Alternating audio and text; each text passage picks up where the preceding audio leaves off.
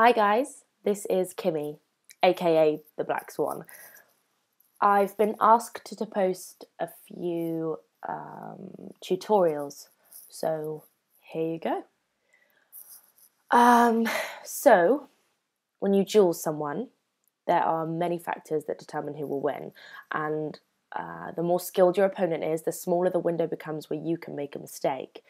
So, here I'd like to talk about the approach. So, you can do this, or, or this, or this. No, whatever you do, don't fly straight. Don't fly straight. It's really that simple. Um, okay, here I'm using a long range configuration, so I'm firing way too early.